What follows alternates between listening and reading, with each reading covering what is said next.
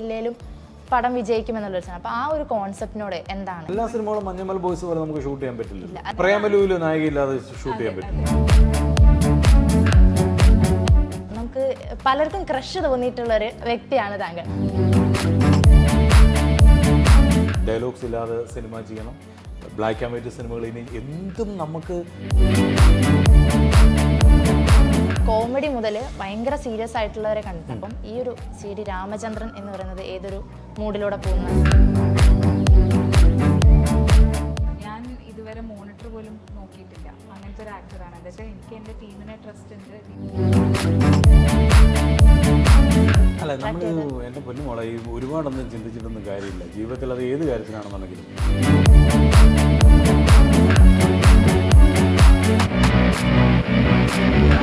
Choose go to experts to digital expert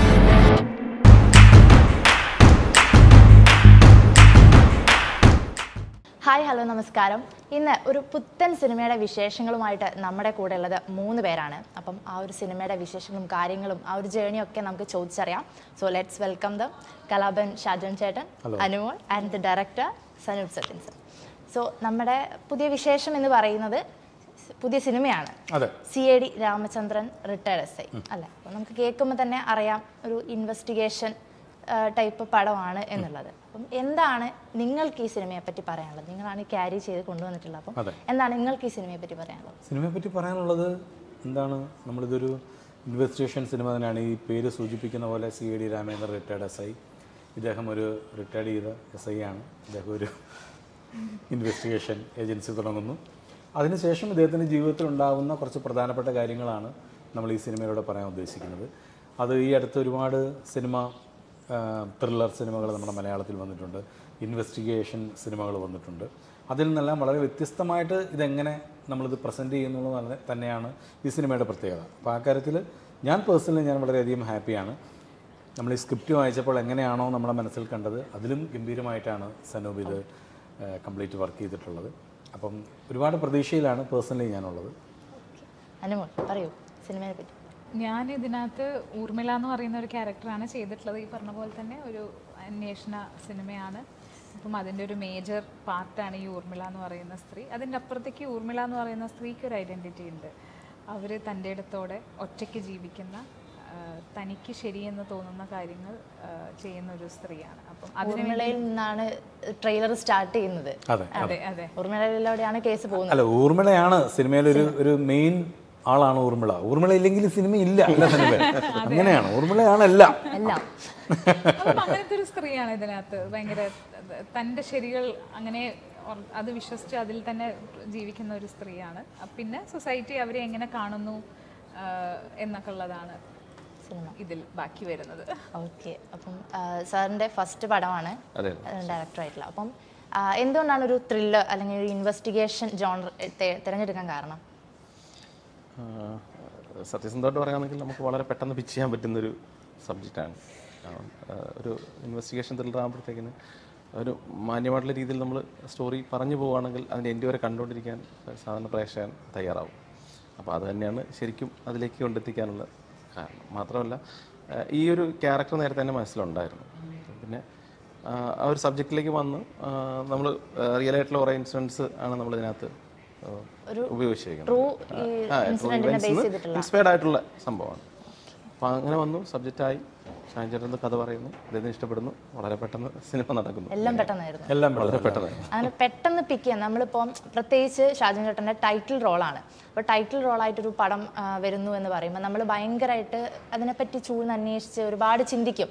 അപ്പം അങ്ങനെ ഒറ്റ ദിവസം കൊണ്ട് ഓക്കെ സെറ്റ് ഞാനിത് ചെയ്യാം എന്ന് പറയാനുള്ള ആ ഒരു കാരണം എന്തായിരുന്നു? എന്തായിരുന്നു ആ ഒരു അല്ല നമ്മൾ എന്റെ പൊന്നുമോളെ ഈ ഒരുപാടൊന്നും ചിന്തിച്ചിട്ടൊന്നും കാര്യമില്ല. ജീവിതത്തിൽ അത് ഏത് കാര്യത്തിനാണെന്നുണ്ടെങ്കിലും നമ്മുടെ മനസ്സൊരു കാര്യം പറയും.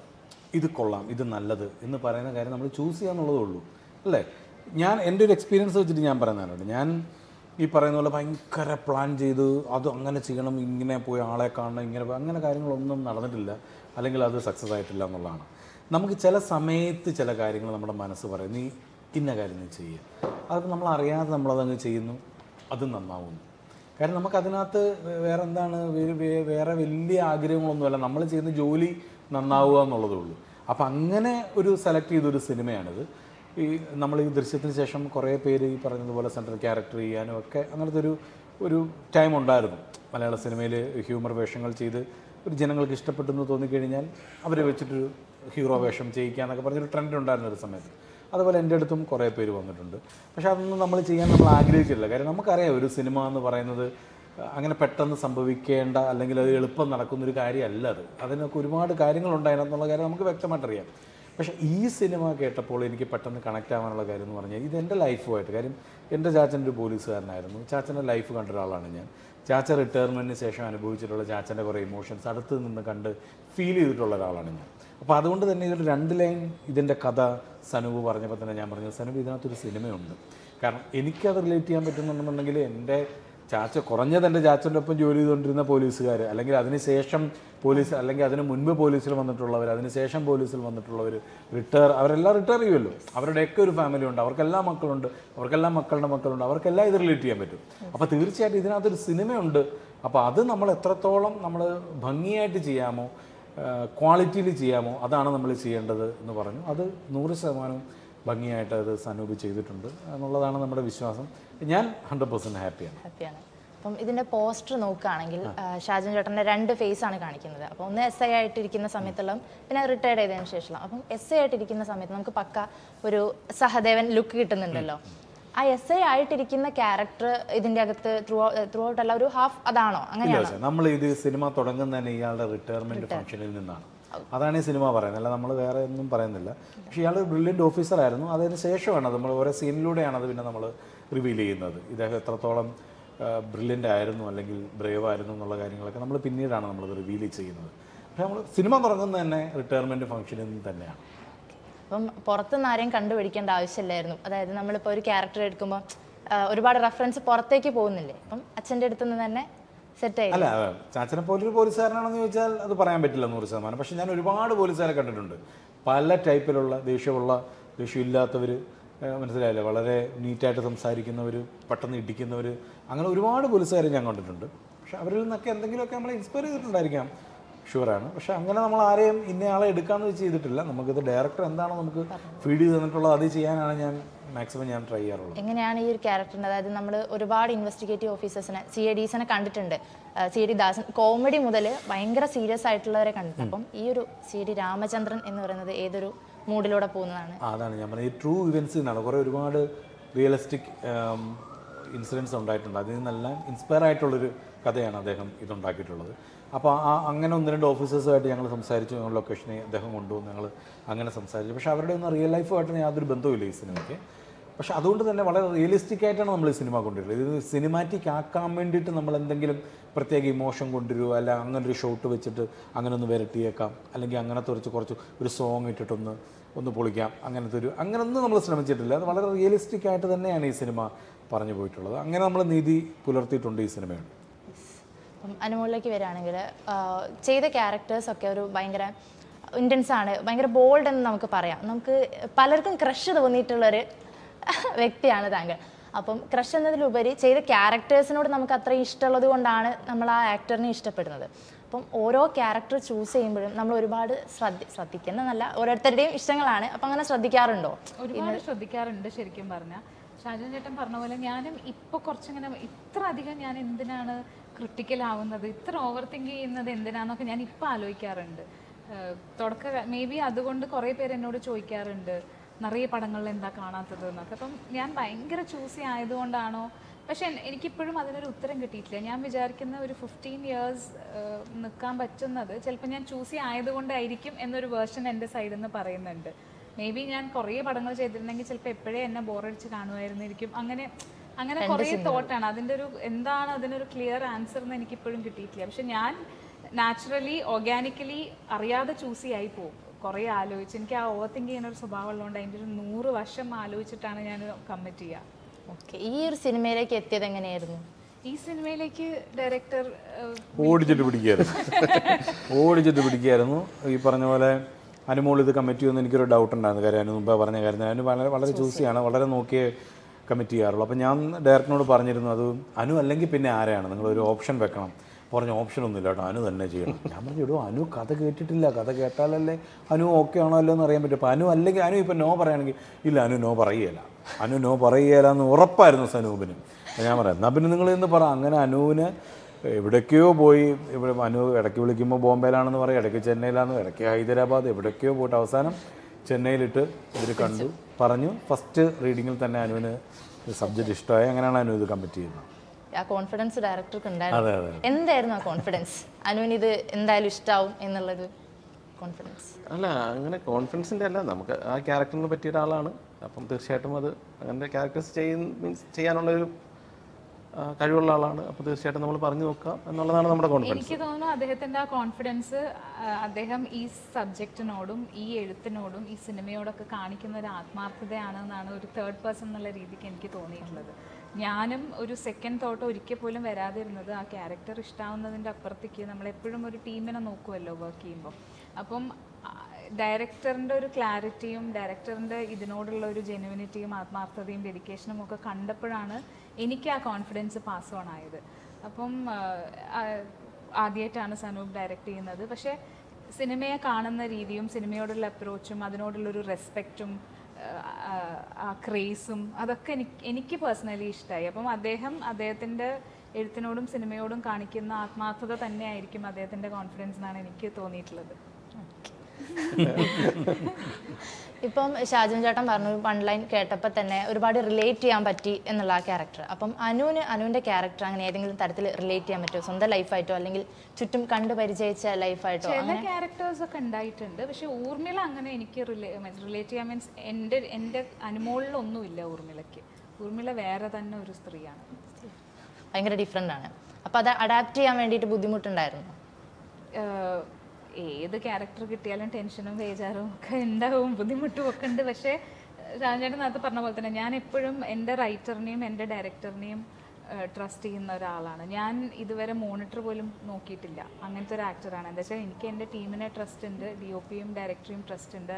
ഒരു ക്യാരക്ടറിന്റെ കാര്യത്തിൽ ഞാൻ ചെയ്യുന്നത് കുറച്ച് ചോദ്യങ്ങൾ ചോദിച്ച് ഞാൻ കുറച്ച് ടോർച്ചർ ചെയ്യും. അതെന്താ ഇങ്ങനെ? ഇതെന്താ ഇങ്ങനെ ആവാത്തെ? അങ്ങനെ ആയാലെന്താ ഇങ്ങനെയൊക്കെ കുറച്ച് ചോദ്യങ്ങൾ ചോദിച്ച് ശല്യപ്പെടുത്തും എന്നുള്ളതാണ്. ഞാൻ അങ്ങനെയാണ് ചെയ്യാറ് കൂടുതൽ. ഇപ്പം ഒരു ഇന്റർവ്യൂവിൽ ദുർഗാകൃഷ്ണ ആക്ട്രസ് പറഞ്ഞിട്ടുണ്ടായിരുന്നു ഒരു ക്യാരക്ടർ നമുക്ക് കിട്ടിക്കഴിഞ്ഞാൽ ബാക്കപ്പ് സ്റ്റോറി അവർ സ്വന്തമായിട്ട് ഉണ്ടാക്കുന്നു. അങ്ങനെ അത് കണ്ടിരുന്നോ? അത് ഞാൻ കണ്ടില്ല. പക്ഷെ ഞാൻ അകം സിനിമ വർക്ക് ചെയ്ത സമയത്ത് ആ ഡയറക്ടർ എനിക്ക് മറ്റേ ഇടയ്ക്കിടയ്ക്ക് ക്വസ്റ്റ്യൻ ചോദിക്കും. രാഗിനി എവിടെയായിരിക്കും പഠിച്ചിട്ടുണ്ടാവുക? ഗേൾസ് സ്കൂളിലാണോ മിക്സഡ് സ്കൂളിലാണോ ഞാൻ പറയാ അത് സ്ക്രിപ്റ്റിൽ പറഞ്ഞു തന്നിട്ടില്ലേ അത് ആലോചിക്കണോ? പറ അനു എവിടെയായിരിക്കും? അനു പറ. അങ്ങനെ തുടക്കകാലത്തെ സിനിമ ഞാൻ ടൂ തൗസൻഡ് ടെൻ ലെവനിലൊക്കെ ചെയ്ത ഫിലിമാണ്. അപ്പം ആ സമയം തൊട്ട് അങ്ങനെ ഒരു ട്രെയിനിങ് എനിക്ക് കിട്ടിയത് കൊണ്ട് ഞാൻ ആലോചിച്ച് വെക്കാറുണ്ട്. ഒരു ക്യാരക്ടർ കിട്ടുന്ന സമയത്ത് ഓ ഈ കുട്ടി ചിലപ്പം ഗേൾസ് സ്കൂളിലായിരിക്കും പഠിച്ചിട്ടുണ്ടാവുക. അതുകൊണ്ടാണ് ഇത്തിരി കുറച്ച് ഇൻട്രോവേർട്ട് ആയിട്ട് നിൽക്കുന്നുണ്ടാവുക. അപ്പോൾ ഇത്തിരി ഇങ്ങനെ അങ്ങനെയൊക്കെ ഞാൻ ഇങ്ങനെ ആലോചിച്ച് കൂട്ടാറുണ്ട്. അത് അത് പക്ഷെ അങ്ങനെ ഇംപ്ലിമെന്റ് ചെയ്യാനൊന്നും നോക്കിയിട്ടില്ല. ഡയറക്ടറോട് സംസാരിക്കാറുണ്ടോ? അപ്പോൾ ഡയറക്ടർ ഓ എന്റെ ക്യാരക്ടറിന് ഇങ്ങനെ ഒരു ബാക്ക്ഗ്രൗണ്ട് സ്റ്റോറി ഉണ്ടോ? അതെ അതെ അതെ. അങ്ങനെ എവിടെയോ ഉണ്ടായിട്ടുണ്ട് ആക്ച്വലി ഇങ്ങനെ ഓരോ കഥ പറഞ്ഞപ്പോൾ ഞാൻ പോലും ഇത്രയൊന്നും ആലോചിച്ചിട്ടില്ലല്ലോ എന്ന് പറഞ്ഞാൽ എന്നെ കളിയാക്കിയിട്ടുണ്ട് ഒരു പ്രാവശ്യം. അത് ശരിക്കും നമുക്ക് ക്യാരക്ടർ ബിൽഡ് ചെയ്യാൻ വേണ്ടിയിട്ട് ഭയങ്കരമായിട്ട് ഹെൽപ്ഫുൾ അല്ലേ? തീർച്ചയായും ചില ഇമോഷൻ ചെയ്യുമ്പോൾ നല്ലതാണ്. നമ്മുടെ ഒരു എന്താണ് നമുക്ക് ഫാമിലി ഉണ്ടോ? നമുക്ക് വൈഫുണ്ടോ നമുക്ക് കുട്ടികളുണ്ടോ? ഇപ്പോൾ കുട്ടികൾ എത്ര പേരാണ്? അല്ലെങ്കിൽ വൈഫ് വൈഫുണ്ടോ വൈഫ് മരിച്ചോ? അങ്ങനെ ചില ഇമോഷൻ ചെയ്യുമ്പോൾ നമുക്ക് ഹെൽപ്ഫുൾ ആണ്. അത് ഓരോ രീതിയിലാണ്. ഡയറക്ടറിന്റെ ഡെബ്യൂ മൂവിയാണ് അതുപോലെ നിങ്ങളുടെ ടീമിൽ ഒരുപാട് ഡെബ്യൂ ടെക്നീഷ്യൻസ് ഉണ്ട്. അപ്പം അവരെ പറ്റിയൊക്കെ എന്താണ് പറയാനുള്ളത്? ഡയറക്ടർ എന്ന് പറയും. അല്ല ഒരുപാട് പേര് പുതിയ ഞാൻ ഉൾപ്പെടെ എന്റെ കോറൈറ്റർ അതുപോലെ ക്യാമറമാൻ മ്യൂസിക് അങ്ങനെ നിരവധി ആൾക്കാർ അത് എ ഡീസ് ഒക്കെ ആ തീർച്ചയായിട്ടും. അതായത് കോറൈറ്റർ ആയിട്ടുള്ള അനീഷ് ദാസ് പിന്നെ എന്റെ പ്രൊഡ്യൂസർ ശ്രീ ഷിജു. ഷിജു മിസ്ബ അതുപോലെ നമ്മുടെ cameraman D O P Jo Christo music director Anu B Iver എന്ന് പറയുന്നതാണ് അങ്ങനെ ഒരുപാട് പേര്. എല്ലാവരും ഒരുപാട് പേർക്ക് ഒരുപാട് പേര് പുതിയ ആൾക്കാരാണ് തീർച്ചയായിട്ടും. ഒരുപാട് കുറേ പുതുമുഖ ആളുകൾ വരുന്ന ഒരു സിനിമ കൂടിയാണ്.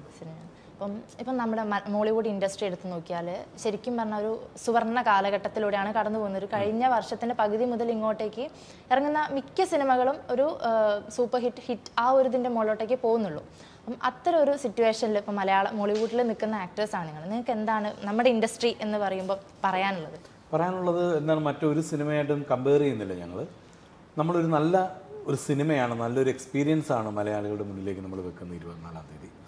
ഇപ്പോൾ ഉള്ള വന്നുകൊണ്ടിരിക്കുന്ന മലയാള സിനിമയുടെ മാറ്റത്തിനൊപ്പം വെക്കാൻ പറ്റുന്ന ഒരു ഒരു നല്ല ശ്രമം തന്നെയാണ് ഈ സിനിമ എന്നുള്ളതാണ് എന്റെ ഒരു ഭാഗം എനിക്ക് പറയാനുള്ളത്. കാരണം ഒരു രീതിയിലും നമ്മൾ ഇതിനകത്തൊരു കോംപ്രമൈസിന് നമ്മൾ ശ്രമിച്ചിട്ടില്ല.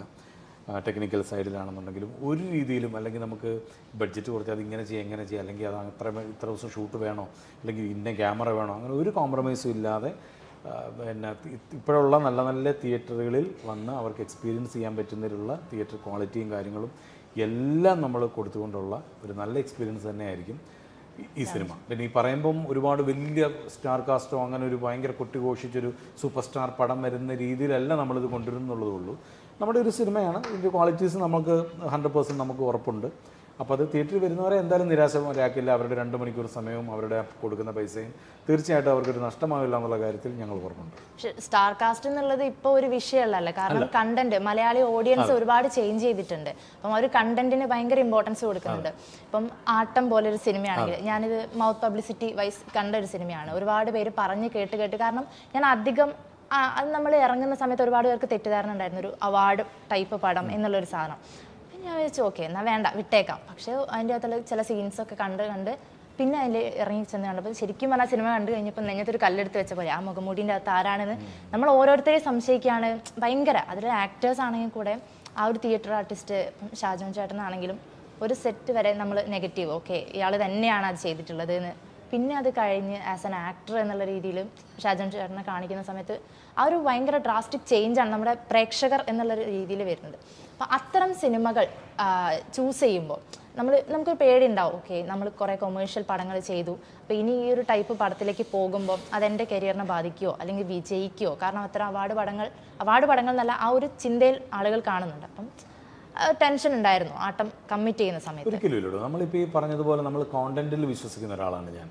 നമ്മളത് നാളെ ഇത് തിയേറ്ററിൽ ഇത് വർക്കാവുമോ അങ്ങനെയുള്ളതൊന്നുമില്ല. നമ്മളൊരു സിനിമയുടെ ഭാഗമാകുമ്പോൾ ഫസ്റ്റ് നമുക്കതിനകത്ത് എന്താണ് ചെയ്യാനുള്ളത്? അല്ലെങ്കിൽ ഈ വരുന്നവരുടെ അതിപ്പോൾ പുതിയ ആൾക്കാരാണെങ്കിൽ പുതിയ ആൾക്കാർ അവരുടെ ഇന്റൻഷൻ എന്താണ്? ഇവരെന്താണ് സിനിമയ്ക്ക് ഇവർ കൊടുക്കാൻ ഉദ്ദേശിക്കുന്നത്? അല്ലെങ്കിൽ ഇവർ സിനിമയായിട്ട് എന്താണ് ഇവരുടെ ഉദ്ദേശം എന്താണെന്ന് നമ്മൾ ആദ്യം മനസ്സിലാക്കിയിട്ട് അതിനൊപ്പം നിൽക്കുന്ന ഒരാളാണ് ഞാൻ.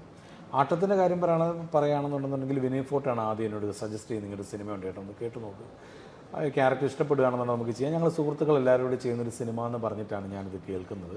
പക്ഷേ അത് ആനന്ദേകർഷി വന്ന് ഈ കഥ പറഞ്ഞു കഴിഞ്ഞപ്പോൾ എനിക്കത് മനസ്സിലായി. ഇതൊരു ഇതൊരു നല്ല ഒരു അറ്റംപ്റ്റാണ് നല്ലൊരു ഒരു സംഭവമായിരിക്കും ഇതെന്നുള്ള കാര്യം നമുക്കത് മനസ്സിലായി.